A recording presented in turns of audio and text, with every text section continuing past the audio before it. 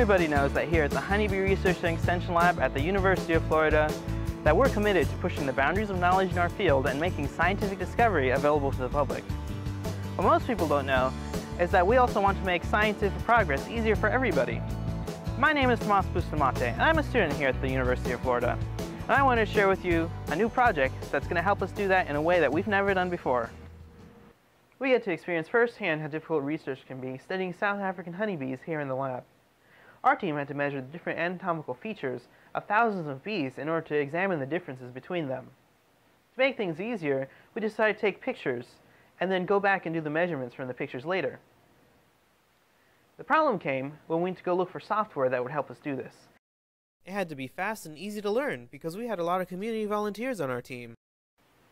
Now, there's a lot of good general purpose software out there, but there wasn't really anything that specifically fit our needs, so we decided to make it instead. And that's how the idea for Morphometric came to be.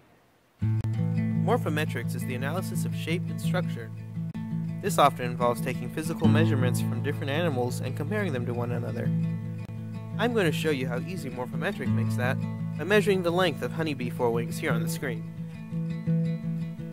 Morphometric sorts your data into projects, and within each project there are different measurement types that you configure to your own needs. Here, I'm going to select forewing length to let Morphometric know that that's the measurement that we're going to take. The final product will be able to automatically sort each image into the associated project on its own. This prototype that we're using doesn't know how to do that yet, so we're going to have to tell it where the images are. Measuring distance is easy in Morphometric. You just pick a start point and an end point. You don't even need to calibrate it if you're using a supported scope.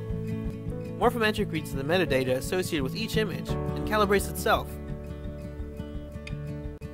Morphometric keeps track of which measurements you've done and which images you haven't seen yet, so that you're never doing the same work twice. It even does this across teammates, so that you can work with a bunch of other people to get big projects done. You can see how easily and quickly I'm collecting wing length information from these images.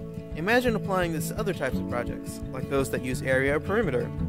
These and more will be available in the final version of Morphometric. It will also include wizards, tutorials, and other resources that walk inexperienced users through the project, as well as additional tools for managing the project itself. In short, we're going to take this proof of concept and overhaul it into a sleek and user-friendly experience for helping prospective researchers or hobbyists navigate through the challenges of making their own morphometric projects. This is where we need your help. We have a lot of resources here at the lab, but one thing that we don't have is the funding to cover the new labor costs associated with this six-month-long project. That's why I'm here in Indiegogo, to raise the money needed to support the work going into Morphometric. With this support, we can make an application that's easy enough for hobbyists and students to use, but robust enough for professional researchers like us.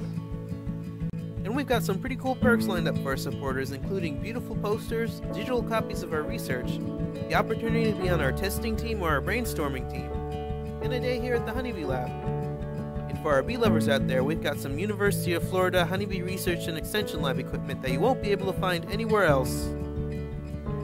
But even if you can't support us financially right now, be sure to give us a shout out on Facebook, Twitter, or Instagram. Science shouldn't be hard to do, and with your help, we can make it easy. Morphometric is the next step. We can open up this amazing field to citizen scientists, students, hobbyists, and other enthusiasts, and we can make it easier for professional researchers and state agencies to do their work. The equipment's gotten to the point where just about anybody can own a microscope at home. In fact, here's one that I made myself. I think it's about time for the software to catch up, don't you?